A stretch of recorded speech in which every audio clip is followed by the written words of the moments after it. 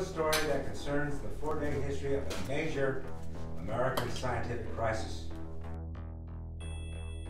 Salt Lake Community College and Summer Bear Life Balance Education presents part one of Michael Crichton's Andromeda Strain dramatized radio play. The documents and information presented here are soon to be made public, but they do not in any way jeopardize national security. In a letter to the President of the United States, Dr. Jeremy Stone wrote, In a true biological crisis, which our exploration of space could bring about, the present lunar receiving laboratory might prove inadequate. I therefore urge the establishment of a facility to deal specifically with an extraterrestrial life form. The purpose of this facility would be to limit the dissemination of such an unknown organism from outer space and try to provide laboratories for its analysis.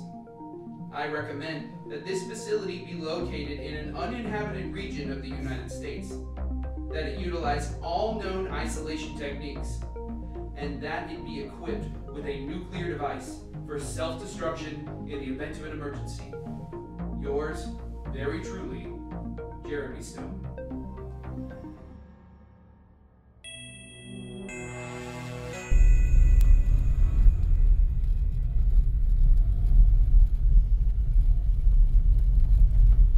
Piedmont, New Mexico, population 68. Let's retrieve the satellite. Some joker must have seen it come down and collected himself a souvenir. Yeah, only you'd think they'd reported it to the police or NASA or the Army. Someone. Hey, see that? I didn't notice that before. That's crazy. I didn't know buzzards fly at night. That's what they look like. Here. Buzzards only come when something's dead. Well, I guess we better go in and have a look.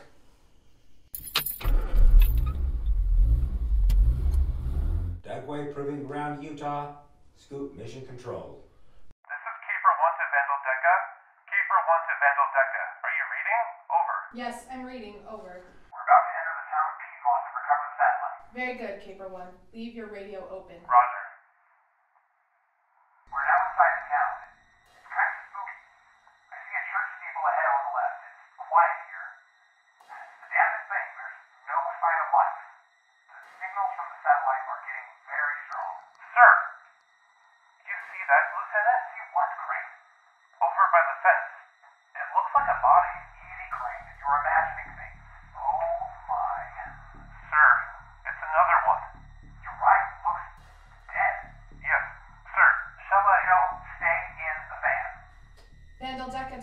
One. What's happening? We see bodies. Lots of them. Are you certain? Get a cover, of course, we're certain. Your orders are proceed to satellite and retrieve. Roger, Vandeldeca. Stay at your stations, hit that security button, get me Major Manchek.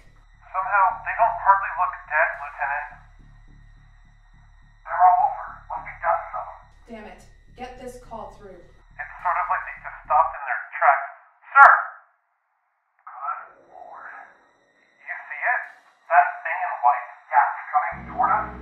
It's just stepping over them, like. Yeah, it's coming toward us. Sir, I think we should get out of here.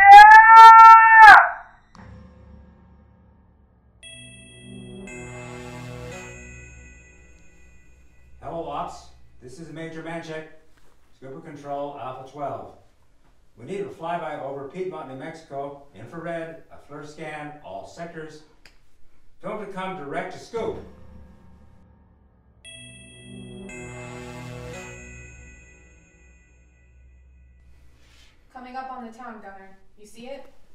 Roger, I see it.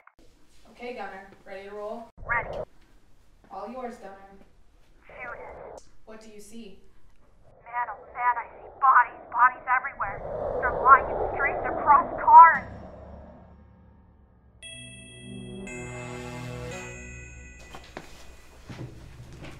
Might as well get right to it.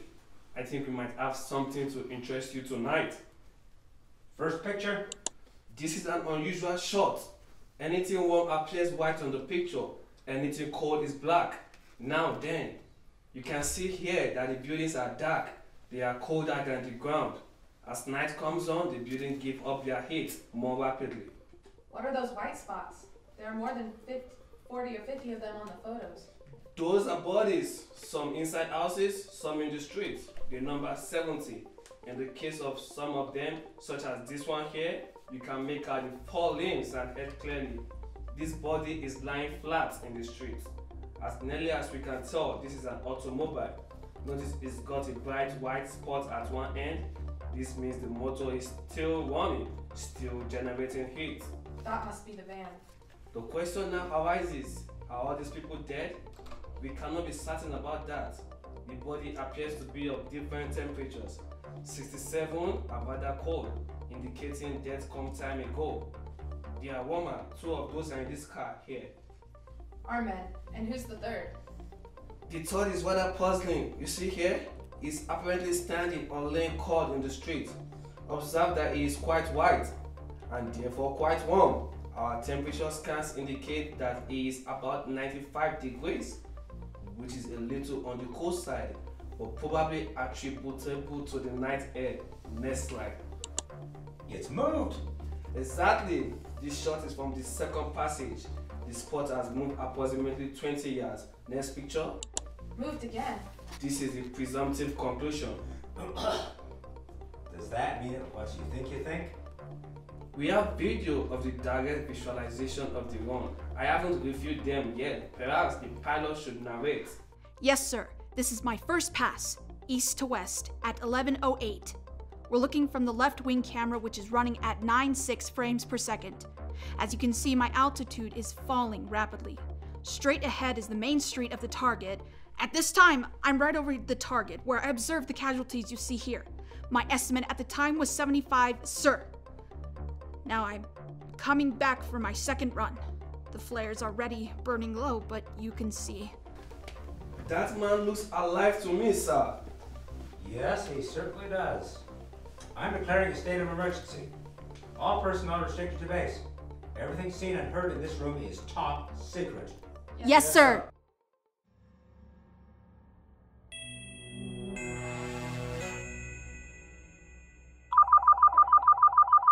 This is a recording. State your name and your message and hang up. Major Arthur Manchek, Scoop Mission Control Alpha 12. I recommend calling a wildfire alert. We have evidence here of unnatural death caused by Scoop 7 returning to Earth. Time check 0147 inclusive. Top secret. Message follows. A wildfire alert has been called. Press blackout. Potential directed 712. Further notifications.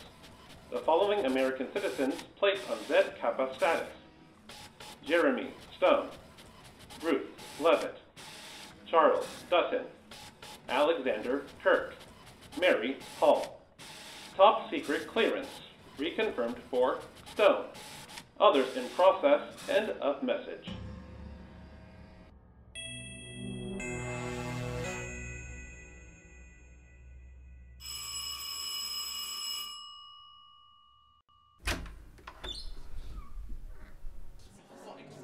We'd like to see Dr. Jeremy Stone, please. Party. May I? Does that man have a gun? Ma'am, we must see Dr. Stone. What is this? Please call Dr. Stone to the door. Otherwise, we'll go get him. Just a minute. May I see you, Jeremy? Jeremy, there are some army types in the hall, and two more outside with guns. They want to see you. I'll take care of it. Jeremy! I didn't. have. I didn't. I didn't know. I'll explain later. I'm Dr. Stone. I'm Captain Morton. There's a fire, sir. No. Uh, oh, oh, uh, I've got to leave. For Pete's sake, Jeremy, when will you be back? Um, I'm not sure. The guns, is it? Mrs. Stone, it's our job to protect your husband. From now on, nothing must be allowed to happen to him. I'll be as safe as in your arms. Jeremy? Jeremy!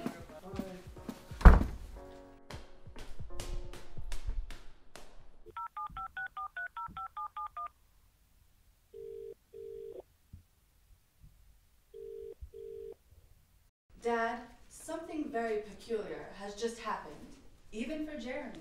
A few minutes ago. Dad, are you there? What's going on? This communication is being monitored. The connection has been broken for reasons of national security. You will be briefed at the appropriate time. Thank you for your cooperation, Mrs. Stone.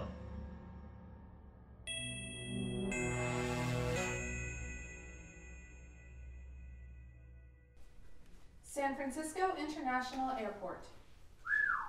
I feel like royalty. The only passenger on a commercial flight? It was the first thing we could arrange, sir. Your file, sir. Okay, let's see here. From the file given to Dr. Stone, da, da, da, the SCOOP project is under the command of Major General Thomas C. Parks, U.S. Army Medical Service, Director of Biological Research Division.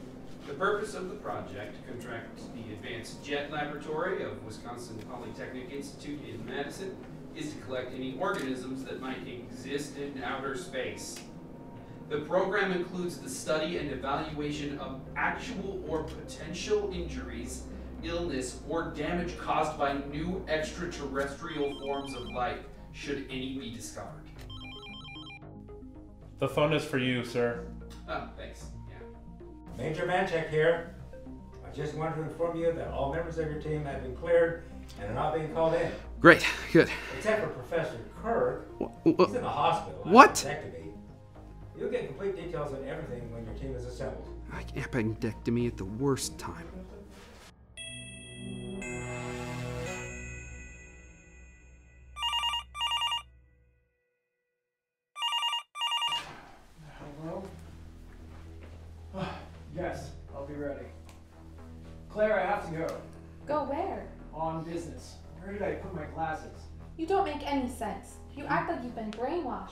You don't understand. Is it the germ warfare people? A lab accident? It's different this time. Don't pack. Claire, I won't need anything. A hippie. You're going to a love-in. I give up. One minute you're fed up, talk about retiring, to Alaska, yet now you've turned into a cloak and dagger man? At least tell me who phoned at this ungodly hour. My glasses? Here they are. Can't you at least tell me who called at this ungodly hour?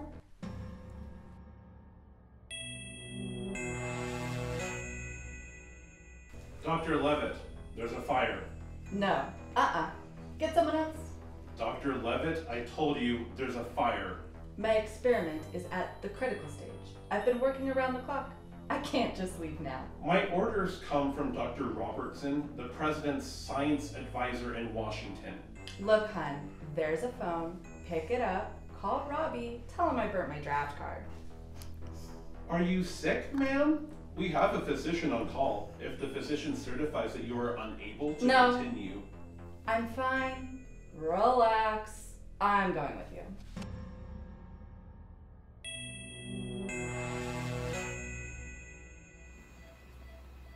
Scalpel. Hold it, Mary. Sorry to disturb you. Your orders are to break scrub. Orders?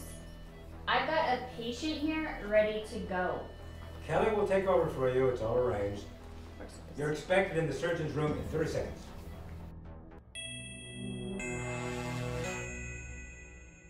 Day 2, February 6th, 8 a.m.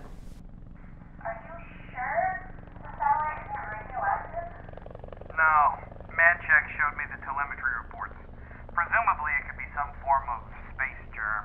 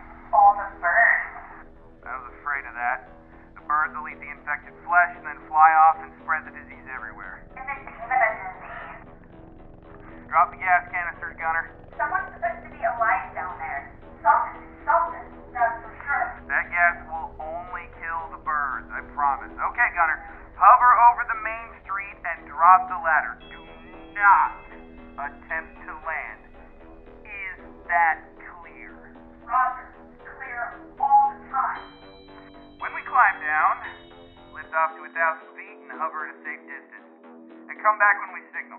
If anything happens to us, well, you have your orders.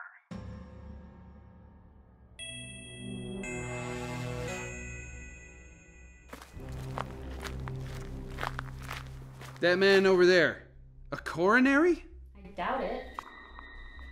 Let's look around. Oh, Hall, take a look at this. Are you sure that isn't a coronary? No, coronaries are painful. They should grimace. The same with the pulmonary embolus. If it was fast, they wouldn't have time. Fast? These people were cut down in mid stride. Up there, look! An Air Force jet. If we don't make it to Wildfire, he'll see the helicopter does, or shoot it down. Well, for Gunner's sake, we'd better not slip up. Yeah, for Gunner's sake. Let's find the damn satellite. Here, look at this house. Let's check it out.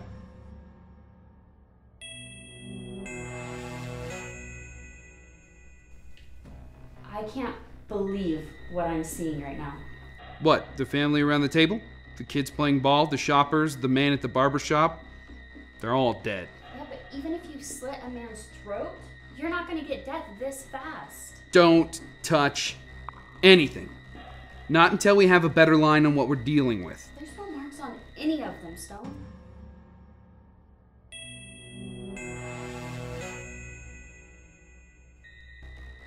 No. Well, she hung herself. There's a note on the cat. The day of judgment is at hand. Have mercy on my soul and to hell with all the others. Amen. Oh, that's delightful. Uh, senile, I think. This took time. Regardless of what made her do it, it took time. There's a chance someone's still alive.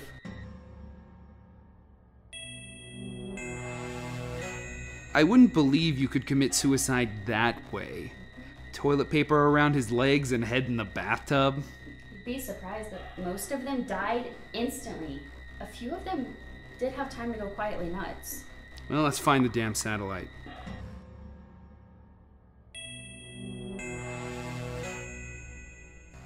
All right, there's the van. Look at his head. This injury, there isn't any bleeding.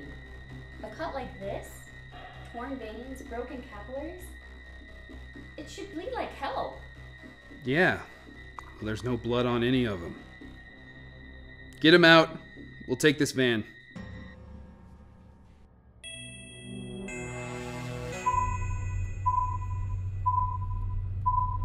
Hold it, hold it, hold it. You gotta go back up and then go to the left. We're so close. Bear right. I bet they took it to a doctor.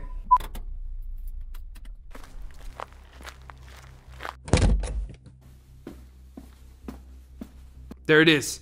Oh, the damn fool opened it. Yeah, because every country doctor should run his office like the lunar lab.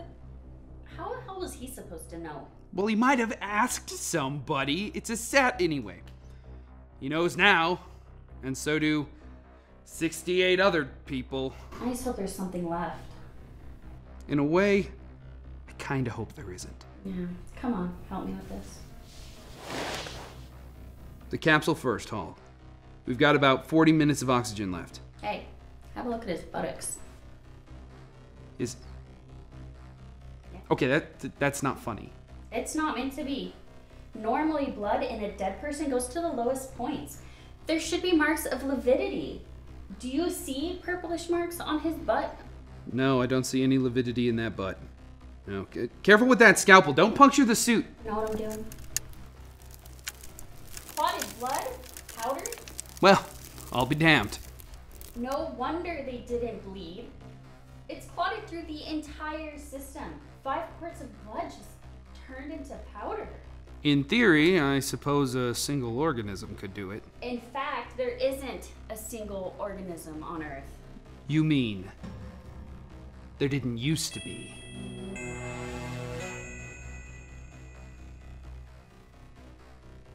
You know, there was that report from the flybys and those videos of a man alive down here. One man in white robes. Do you think he's still alive?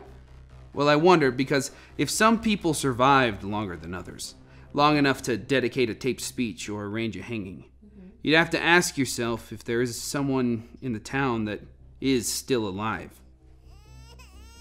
Yeah, true. Did you hear that? Have we lost our minds? No, no, we heard it all right.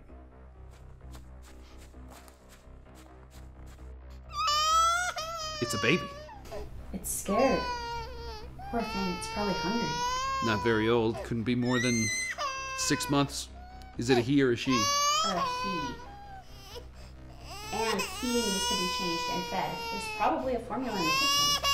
Don't feed it. He hasn't eaten in at least 12 hours. We don't do anything until we get that kid into a controlled situation. Maybe feeding it is part of the disease process. Maybe those who hadn't eaten lasted the longest. Whatever it is, with our oxygen running out, we can't take a chance. This is a very important development. It's a major break for us, and we've got to protect it. I think we should go back immediately. Fine. Doesn't matter. We have something much more valuable than anything we could have hoped to find. We have a survivor. Yeah. Too bad he can't tell us what happened. Maybe he can. If he lives. Let's get into the helicopter.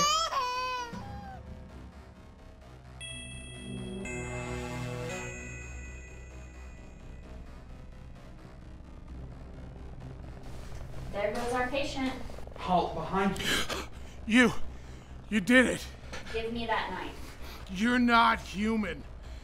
Everyone's dead.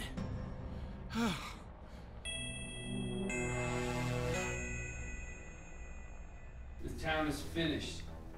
No more. We have good evidence for an unusual process of work, contaminated beyond Careful, all. this is an open transmission. I'm aware of that. Manchek. Order up a 712. Only the president. Precisely. Get on it. The town must be neutralized immediately. You have the satellite? Yeah, we got it.